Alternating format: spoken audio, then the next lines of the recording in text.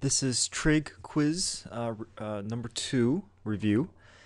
And here we are focusing on finding uh, derivatives of trig functions um, and applying uh, the rules that uh, we're familiar with, including uh, product rule, chain rule, quotient rule, implicit differentiation, okay, and evaluating the derivative um, at a point. So let's start off with y equals cosine cubed of pi x squared. Find dy dx. Uh, the first thing that I like to do is rewrite uh, this function in terms of um, an exponent and take care of that 3. So we're not changing anything, just rewriting it in the form where maybe it's a little bit easier to identify um, uh, applying uh, chain rule and um, giving a visual reminder that we're dealing with the most outside function's derivative first, and then we're moving in uh, to the uh, uh, to the next inside function, the next function in. So we have cosine cubed of pi x squared. We can rewrite this as cosine pi x squared, quantity cubed. And here we see there are three functions. We have the cubed, uh, the uh, bracket cubed, and the next function in is the cosine function, and the next function inside of that is pi x squared. So we have to methodically go through and find the derivative um, uh, one function at a time. So we take care of the outermost function first, bring down the 3. So the 3 comes down in front. We keep everything inside the bracket, um, and we subtract 1 from the exponent.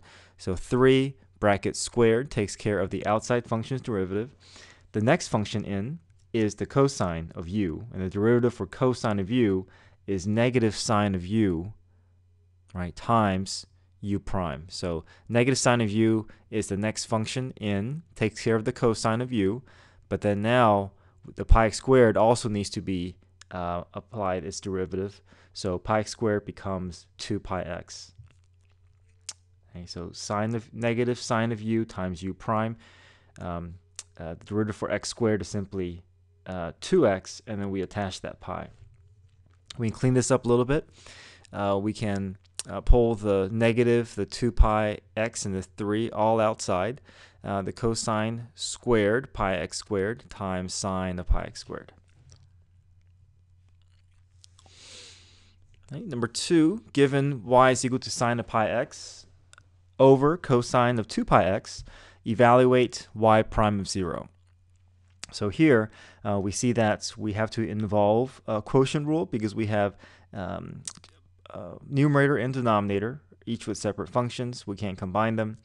Um, but then within each of these uh, functions, we have to also deal with a chain rule when we get to them.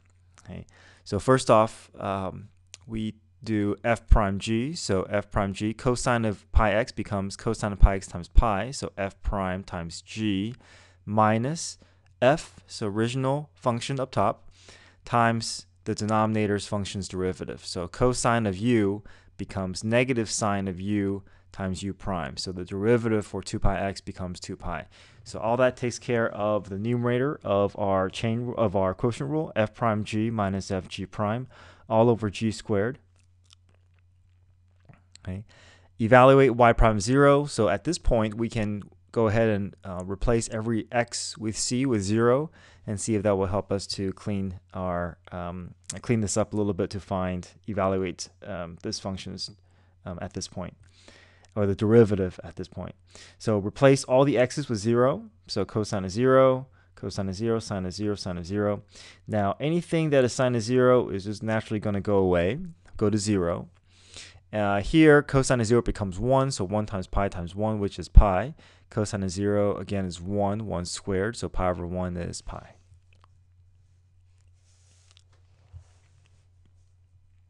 Right, number 3.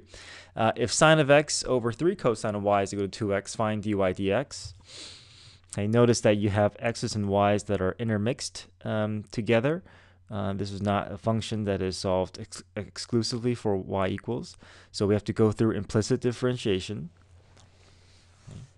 And so we start off uh, f prime g minus f g prime.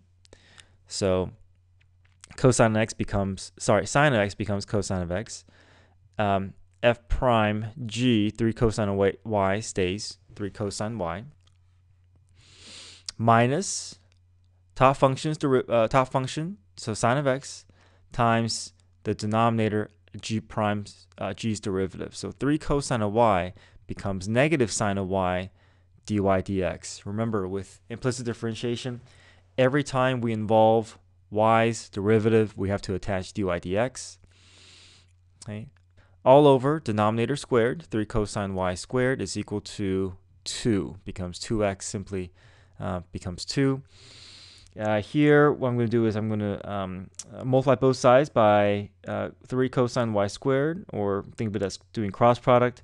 I want to get rid of the denominator. So once I get everything up here, the only uh, dy dx is uh, attached to the 3 sine x sine y. So when you get this by itself, um, subtract both sides with uh, 3 cosine x cosine y. And the left side here, um, uh, well, the 2 multiplies with the 9 cosine squared y, which is uh, 18 cosine squared y, minus 3 cosine x cosine y. We divide all this by 3 sine x uh, sine y. And this is uh, pretty much as far as we can go. We can't cancel out um, anything between numerator and denominator. So here's our derivative uh, using implicit differentiation. Okay, number four, find dy dx. If sine of pi x plus cosine of pi y, quantity squared, is equal to 2. Now here we have all this raised to the second power, so we have to go through a chain rule first, take care of the outside functions, derivative first. So we bring down the 2, we keep everything inside um, the bracket, subtract 1 from the exponent, so that becomes 1, times the inside function's derivative. So we go through and find the derivative for sine of pi x and cosine of pi y. Sine of pi x becomes cosine of pi x times pi. Cosine of pi y becomes negative sine of pi y times pi dy dx. So we're involving y's derivative, so we have to uh, make sure we attach that dy dx. 2 is a constant, so 2 goes to 0. Um, next thing we can do is we can uh, distribute through. So when we distribute through, we're going to get um, uh, pi cosine of pi x minus, well, what happens here is um, we can actually divide all this out to the other side. So when we divide all this out to the other side, um, that zero over all this will just um, make all make all these terms go away, leaving us with just cosine of pi x times pi minus pi um, sine pi y times dy dx. So once we divided um, all of this over to the other side, we're just left with these two terms. And then we can uh, isolate the dy dx by itself, move over uh, the cosine pi, uh, pi cosine pi x to the other side, divide both sides by negative 1, and also, uh, sorry, divide both sides by negative pi sine pi y. Uh, the negative pi's cancel out. We're left with cosine pi x all over sine of pi y. Okay. Bit of a PVA portion problem here. If velocity is v of t, sine of 2t, tangent t, find a of t. So we're at the velocity function. We just need to go one derivative down to get to the acceleration. So here you can see that uh, if we want to find the derivative, we have to involve product rule.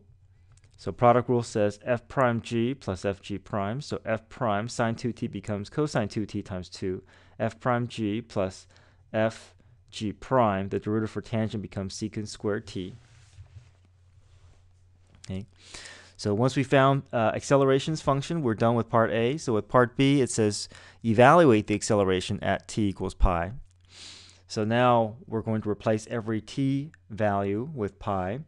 So 2 cosine of 2 pi, tangent of pi, plus sine of 2 pi, secant squared pi. Uh, cosine of 2 pi becomes 1, tangent of pi is 0, sine of 2 pi is 0, and secant squared pi, secant pi is negative 1, but negative 1 squared will become 1.